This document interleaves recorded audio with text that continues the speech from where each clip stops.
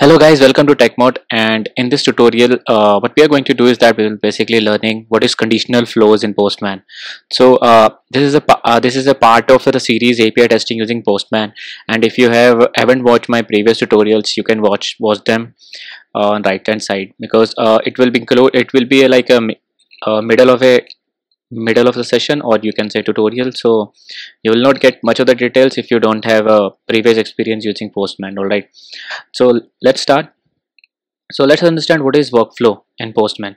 So uh, workflow is a basically uh, it's a kind of a sequence of request. For example a, a suppose if you want to like like uh, if particular thing happened then you wanted to happen this uh, that happen and uh, if that not happen that you want to happen this one. So uh, in in a nutshell you can say that if certain uh, like if we wanted to have like certain if loops for example if the request one successful then we have to move to request 3 else we have to do request 2 and if request 3 is passed we have to move, back to move to request 5 and uh, we have to skip the request 4 because uh, uh, we don't want because this is our workflow all right? So uh, that's what uh, workflow is all about. So let's take an example of this workflow that I have shown you in the di diagram. For example I have a search by name request.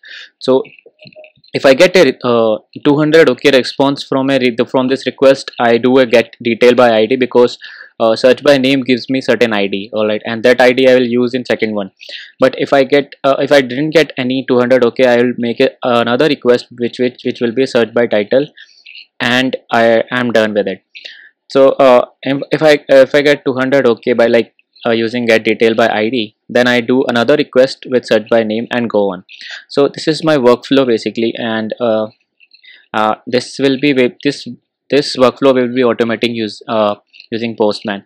So uh, let's see how we can automate them in Postman alright so condition workflow so uh, how uh, so there is a particularly a pre-made uh, you can say built-in function in postman which is postman dot set next next request and there is a request name. You can specify the name of a request like request name as shown in the first one and if you want to like terminate this execution you can just pass the null value and it will ter terminate it.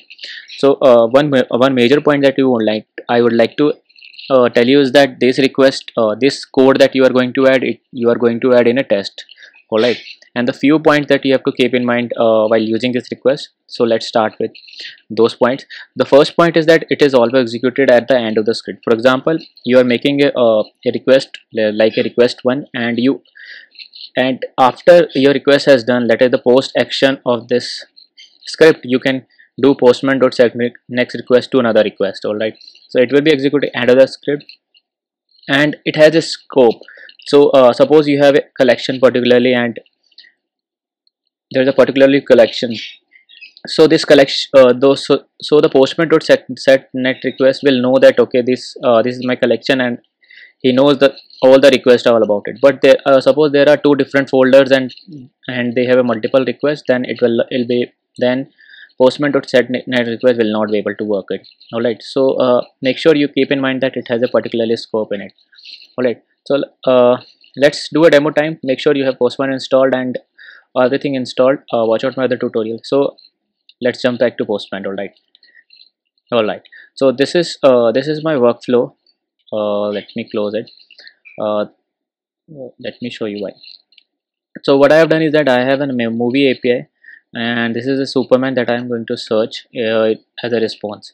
Alright I'll send the response and let's see what we'll get. So this is my workflow and what I have done is that I have a search by name search by title get element get detail by ID or search by name. So if search by name is successful I don't need uh, search by title. I can directly pass go to search get detail by ID and go and list go on. So what I have done here in that you can just navigate to test folder or test tab. What I have done is that I'll get the 200 okay message as a test. And if the response is 200 I need to go to the detail one. Else I have to uh, go to the request of uh, search by title. So in the uh, suppose uh, I get a note uh, note a 200 okay message. Then what this will do is that it'll it will basically uh, check and it will search again again. But I don't want it because you can just pass if 200 okay it will make it another request but i don't want but, but uh, we can do what we can do is that uh, we have to go to name tool in this one. There's a small bug. Name tool so what i have done is that i have uh, if search by title uh, if name is failing for example i'm not getting 200 okay search by title will call the name too that that's what we want. And if name is passing it will call the get detail by id and in detail by id i'm calling the search name too. So this is my flow as you can see. So what you can do is that you can just run it uh, using collection runner. If you don't know much about it collection runner you can follow up my other tutorials. It will get to know that. Uh, so right now as you can see let me show you. It's loading. Uh, so if uh, everything is correct uh, I am running that workflow with no environment. Let's start the running running process. So if everything goes by like search by name if it isn't 200 it will go to search get search by id and after that a name too all right and if so as you can see that sec get by title is skipped because i'm getting the 200 okay? And now as you can see it called the name too. It will keep on going. Uh, so this is the workflow that i have uh, like this is a one of one of the workflow that have, we have automated using postman. So that was quite quite easy and simple tutorial. And if you have any doubt you can uh, mail me. And uh, let me go back to my presentation. So these are the some few links. If you wanted to check it out the conditional workflows you can automate a certain certain request. For example i have a lot i have around 100 of requests which are automatic using uh, this kind of workflows for example if there is a particularly login i have to go to there where and so these kind of things you can do it. And if you have any doubt you can email me. My email id is pramodatta at the liv.com so thanks a lot guys. Thank you for thank you for your uh, time. And see you in the next tutorial. All right